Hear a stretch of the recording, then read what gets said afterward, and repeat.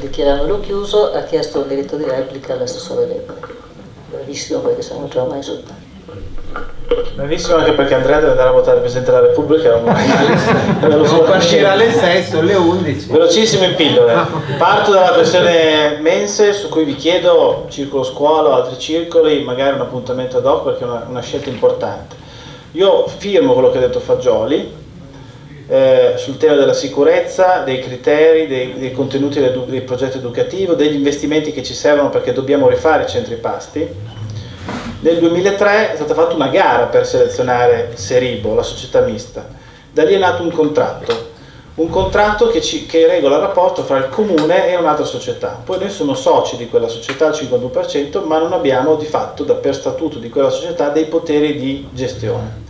Ora, io personalmente mi sento più tutelato come eh, non controparte di me stesso, ma con in mano un contratto che nel capitolato che stiamo redigendo, che è stato pubblicato oggi online in parte, finalmente dice quali sono gli obiettivi di qualità, di sicurezza nutrizionali condivisi con l'ASLA e ti invito ad andarli a vedere, magari siccome c'è anche una consultazione in cui si può dire la propria, in questi giorni parlarne insieme, perché lì ci sono dei criteri davvero innovativi e sicuri che possiamo garantire solo se noi davvero abbiamo uno strumento di controllo e aggiungiamo per la prima volta uno strumento di coprogettazione e cogestione del servizio con i genitori, i lavoratori e gli altri soggetti interessati, le famiglie. Oggi questa cosa lì non c'è, non c'è perché c'è una società mista con un contratto che non prevedeva questa cosa.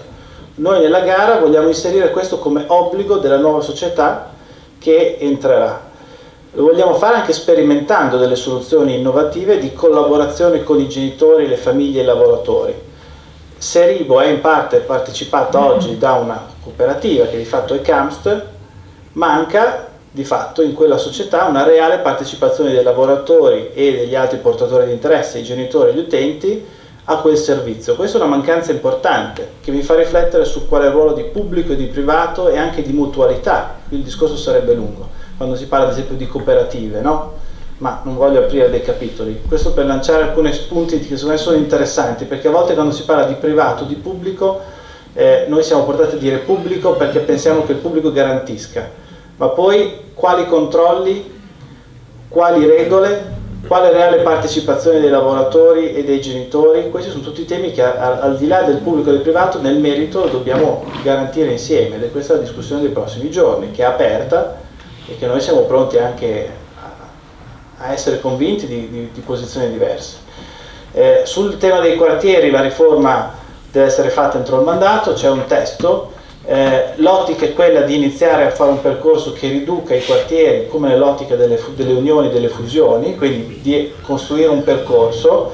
Il decentramento che è stato fatto negli anni passati è fallito, ma non perché vogliamo togliere o si è voluto togliere chissà cosa il tema è le persone, i loro bisogni, come noi diamo delle risposte. È evidente che negli ultimi anni c'è stata una mancanza di capacità di rispondere ad alcuni bisogni da, da parte del servizio che era stato rivisto col decentramento.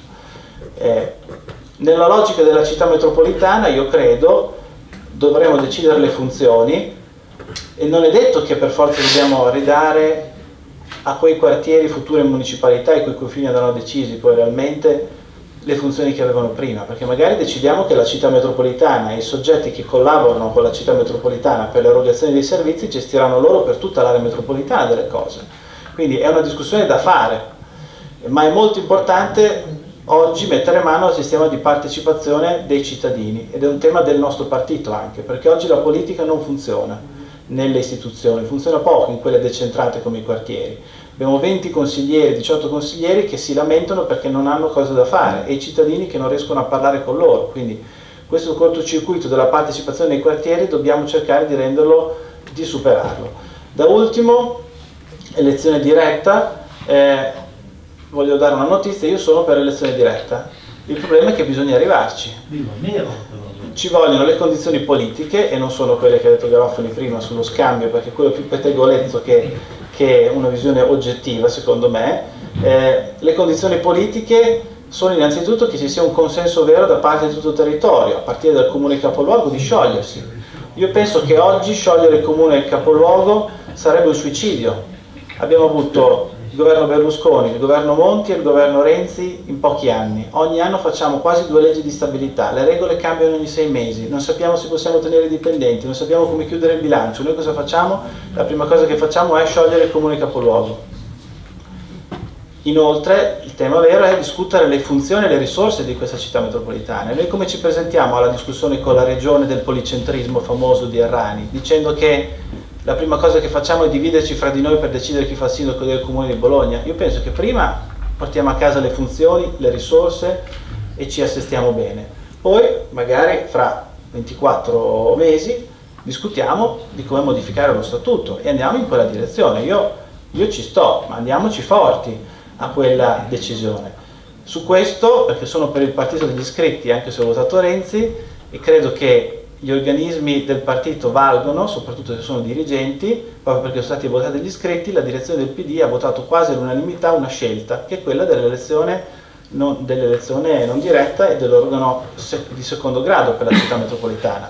E quindi non perché l'ha detto Merola, ma perché l'ha detto la direzione del PD, siamo andati avanti con questa decisione. Grazie.